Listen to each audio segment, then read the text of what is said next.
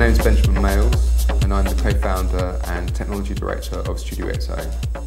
Studio XO is a fashion technology company based in North London. So Volantis was commissioned in 2013 and is the world's first flying dress.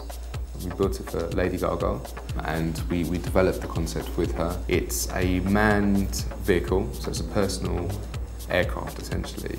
It's designed using tried and tested designs borrowed from the unmanned aerial vehicle industry. It's known as a HEX 12, so it's got six arms and 12 rotors. So each arm has, has two rotors per arm, which provide the thrust to, to, to enable the, uh, the craft to lift off the ground. So Volantis is, is made primarily from carbon fibre and titanium.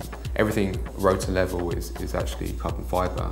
The truss section in the centre is actually made of, of titanium. They're used a lot in the aeronautic industry. We made a kind of bodice for her. Uh, that's also made of carbon fibres. Although the, the machine itself had to be strong, it had to be hard, um, we wanted it to still have the affordances of fashion. So we built a very beautiful front casing, which basically completed the dress. Volantis is remote controlled, so it's not actually um, piloted by the passenger. When we flew it in New York, the pilot is a, is a trained, trained pilot who actually specialises in flying unmanned aerial vehicles. Humanity has always aspired to fly, and there's lots of really interesting things happening around flight. Looking at something like Virgin Galactic, where the idea of commercial space travel in the next decade is a reality.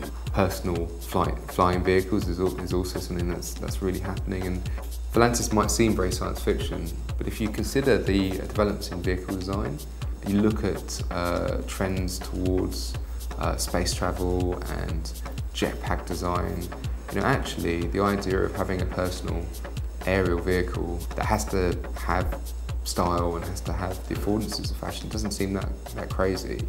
You know, who knows, you know, in, in 10 years time we might all be flying around on Volantis.